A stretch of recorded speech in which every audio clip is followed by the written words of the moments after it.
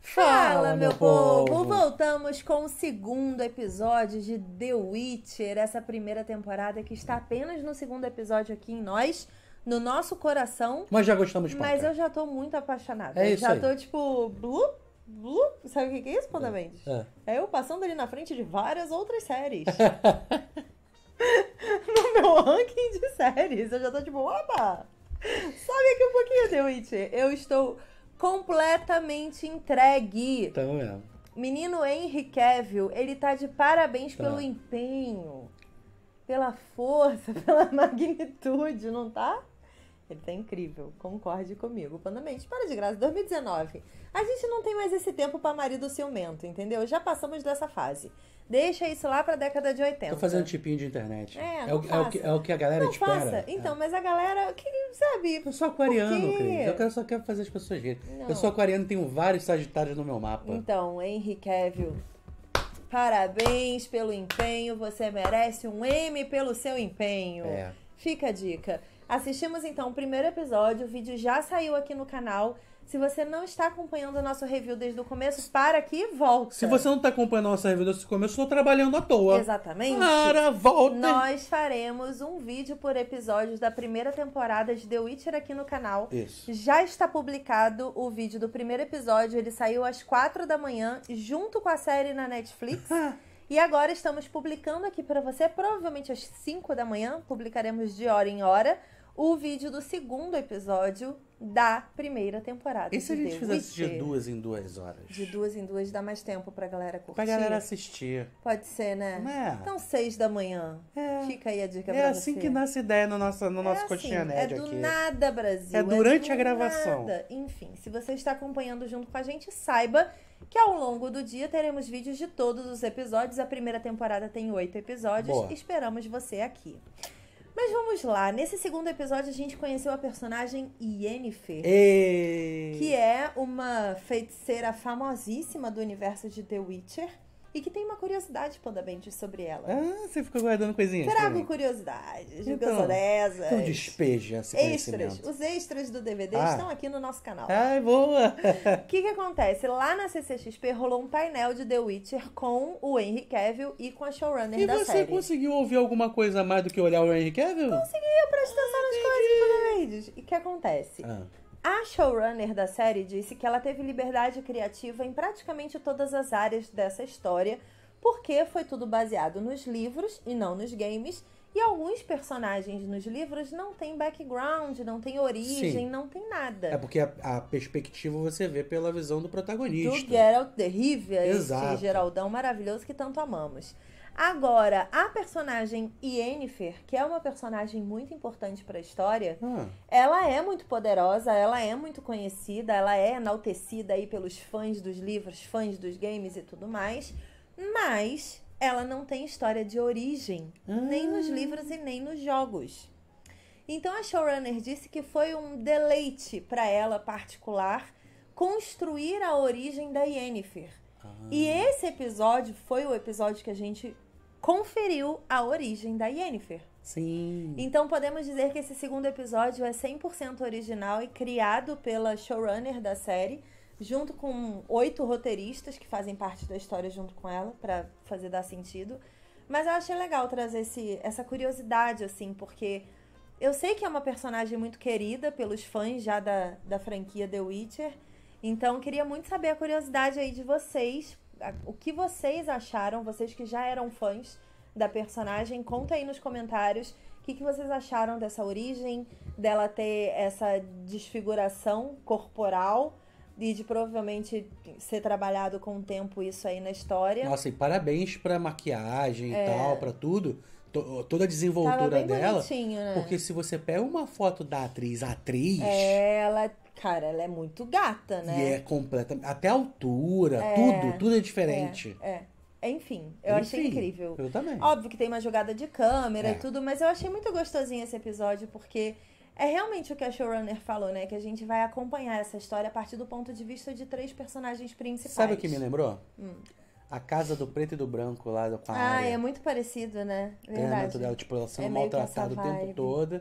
E, tipo, você tem que aceitar que você vai É. se tornar essa pessoa São ruim aqui. desafios, né? É. Desafios que você vai tendo que provar que você tem como superar tudo aquilo ali. No primeiro episódio, então, a gente viu um pouquinho da origem da Ciri. Vimos um pouquinho sobre o Geralt, mas não muito ainda. É. E agora, nesse segundo episódio, a gente entrou no universo de Yennefer, então. E descobrimos que quem trouxe a magia para esse mundo foram os elfos. Eles são os originais do rolê da magia. Achei muito legal. Também. E a gente viu muita coisa ali, muitos personagens interessantes É. aparecendo. Sempre quando brinca um pouquinho com esse mundo de fantasia, é esse discurso é sempre trabalhado. É. Mas é interessante como eles jogam isso, né? Porque os elfos perderam. Me lembra muito um jogo de RPG que você não conhece, acho que você conhece, chamado Tormenta. Aham. Onde os elfos eles foram expulsos do, do, do reino deles Sim. E eles vagam pela terra como se fossem mendigos, né? Sim, Como sim, se fosse sim. se toda a história, todo o passado deles tivesse sido apagado e eles não conseguem viver É. longe daquela tristeza. É. Porque eles são seres que É um- vivem muitos anos. Então, Então, é assim, a tristeza dolorido. dura, du- É. dura muitos anos também. Exato. E assim, eu acho que não tem como não comparar, todo mundo fica pegando esses conteúdos que são fantasiosos e medievais e comparando com outros tantos. É, é. É, em Game of Thrones, por exemplo, a gente tem o, o medieval raiz, que trabalha no máximo com magias e, e bestas fantásticas, que são os animais fantásticos. A gente não vai muito além disso. Mas, por exemplo, a gente tem em Diablo, a gente tem um universo também bem parecido, assim, de monstros e criaturas místicas bem diferentonas. E aí você consegue enxergar um pouquinho desses elementos também ali. Mas tem uma cena nesse, nesse episódio que se separa totalmente de Diablo. Ah. Quando o bardo tá andando com o Geralt e fala assim: Vamos procurar algum demônio? Aí ele fala: Isso não existe. É, é verdade. E acabou! É.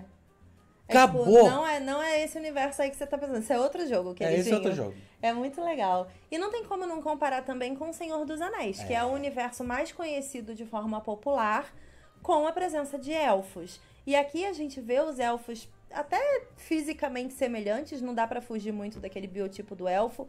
Pessoas muito magrinhas, lourinhas, bem branquinhas, com orelhas pontudas e tudo mais. Só que a história já vem disruptiva trazendo um elfo negro na floresta. Sensacional. E eu achei isso muito legal, porque primeiro eles te apresentam esse personagem, não te diz o que ele é. Depois eles te apresentam os elfos, de fato, e aí você cria um estereótipo na sua cabeça. Isso. Ou seja, um elfo como sempre. E aí eles voltam pra floresta com a Ciri e o garoto é um elfo. E eu achei isso fantástico. Foi assim, muito pra quebrar mesmo a sua expectativa da história, né? É, e levando em consideração. E assim, eles estão jogando história no nosso colo e a gente não tá nem percebendo. É. Ó, Houve a conjunção dos. Da, É conjunção, não é? Dos, dos- do- das esferas. a conjunção. Não, mas é conjunção mesmo, Acho né? que é. Conjunção das esferas. Agora eu tô com, com muita informação na minha cabeça agora. E aí deu ruim. Todo Sim. mundo tentou conviver, os seres humanos Não estragaram. dava, não dava. Gente, você pode até conviver elfos, gnomos, dragões, monstros, todo mundo. Mas aí na hora que tu fala, ah, que tal um humano também? Dá ruim. É tipo óleo e vinagre, sabe? Que faz. Separa, não tem condições. A gente não tem maturidade pra viver com outras espécies. Então, mas esse é o pensamento que os humanos no poder têm Uhum. e que os, os outros seres têm. Sim. O Geralt não tem esse pensamento. Não, ele é muito pacificador, gente. Amo. Geralt Greenpeace. É, Ele é tipo, maravilhoso. São ruim mesmo, fizeram ruindade mesmo. É, Vivem numa uma era de ruindade. sim. Só que, se você viver, prosperar, trabalhar, conquistar, você consegue mostrar pra eles que a história pode ser diferente. Sabe o que eu tô observando? Ah. O Geralt é do textão. É, total. Ele tá no meio da batalha, quase morrendo, apanhando. O maluco falando, não, porque eu quero me vingar, seres humanos sucks, detesto seres humanos, blá. E ele fala, que isso, amigo?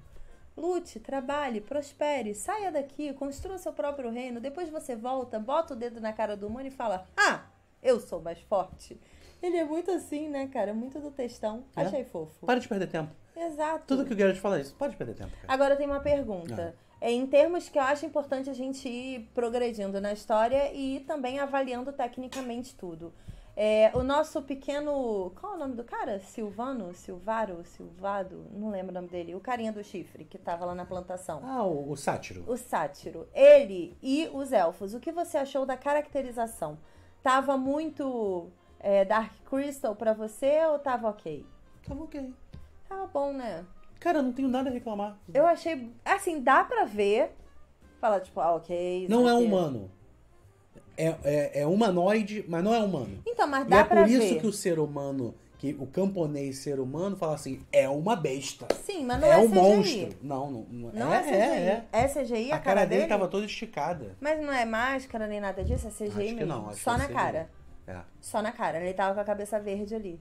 É, pode ser. Porque chegou uma hora que eu acreditei. Mas, Cris, eu- eu acho que a gente não tem que ficar caçando CGI mais, não. A gente tem que mergulhar na fantasia. Eu não fiquei pensando, eu falei, é um humanoide diferente, por isso que eu chamo de monstro. E acreditei. Tá bom. Se esse bicho entrar aqui, eu falo, e aí, como é que estão os elfos? Acredito. Tá bom. Cara. Não, tu Então já tá. passou o primeiro episódio caçando CGI e o segundo episódio. Acabou nesse. Tá não bom. quero mais terceiro episódio com. Ah, mas o CGI. Não, acabou. Ótimo CGI. 10. 10 de 10. 10 de 10 coxinhas. Tá bom, então. Paramos de caçar CGI. Mas se você viu algum. Vamos conversar. Você que tá catando CGI... Nos comentários só. CGI. Vamos conversar comigo. Fala, Cris, é comigo. Eu sei que não é com Panda. Mas tem isso que eu queria falar. Queria falar também da Yennefer lá na casa do preto e do branco. Que ela tá lá com o cara, que ela se apaixonou. E aí não se apaixonou coisa nenhuma, iludiu a gente. Porque ela tava enganando o cara, o cara tava enganando ela. Tá todo mundo se enganando nesse rolê. E termina o episódio com uma cena belíssima dela, com as cobras e ela ali. Eu acho que ele enganou ela sim. Porque é- Não, ela, ele enganou ela e ela enganou ele. ela enganou ele não quer só pra pegar a florzinha. Sim, ela tava numa missão e ele também. Os dois estavam mentindo ali naquele rolê. Ah, mas ela não entregaria de graça a história que ela, ela tem sangue élfico. Será? Eu acho que nesse, naquele momento. Então, mas o mal Ela da falhou. pessoa que engana é achar que não tá sendo enganada. É. Talvez ela tenha falado do tipo, ah, quem é ele? Um Zé Ninguém. Vou contar aqui uma história que não vai fazer a menor diferença. Mas fez porque ele também tava enganando ela. É verdade. Mas Ele trabalha com o mago do primeiro episódio. Exato. Caramba. E aí tudo vai, vai se juntando. juntando e é bonitinho. Precisa enaltecer o fato de que o episódio começa com um cara falando: Você é um bruxo? Ofereço 150 moedas para você me defender de um perigo que está acontecendo na minha plantação. Eu falei: Missão! Ganharemos moedas nessa missão. Eu já tô muito Dá jogando muita jogo, vontade de gente. jogar RPG, dá, não dá dá? muita vontade. Porque é muito RPG, gente. É Nossa, muito legal, muito assim, legal. como a estrutura do episódio vai caminhando como se fosse um jogo, com pequenas missões, só que você tem uma história maior de pano de fundo. é bem gostosinho, né? E precisamos enaltecer o bardo. Afinal, bardos são enaltecíveis. Bardos são incríveis. Eles são incríveis. E esse, particularmente, é muito divertido. Ele é bom no que faz. A música que ele constrói no final do, do episódio é muito legal. E eu já te adianto pra que serve esse episódio. Pra e quê? ele. Você concorda que a Siri tá procurando o Geralt, mas ela não Tá tem ideia de quem procurando. seja? Sim. Qual é a melhor forma dela seguir pistas? Com músicas. A música vai sendo cantada. Será? Em algum momento ela vai ouvir e vai chegar no bardo Ai, que vai gente. chegar no Geralt. Eu amei muito. É. Vamos pro terceiro episódio, então. Quero Já? dizer que estamos apaixonados pela série. Já me ganhou muito minha alma. É todo de Geralt, de todos eles, gente. De Yennefer, Ciri, todo mundo. Estou vendida para The Witcher. Não sou obrigada a voltar atrás. Ai, muita Vamos pro felicidade, terceiro né? episódio. Daqui a pouco. é, Peraí, 4, 5, 6, 7, 8. Daqui a pouco. São números pares. Vamos facilitar para as humanas aqui. Daqui a pouco, às 8, 8 horas da manhã, teremos o terceiro vídeo do terceiro episódio de The Witcher. E... Esperamos vocês. Beijo. Tchau. Tchau.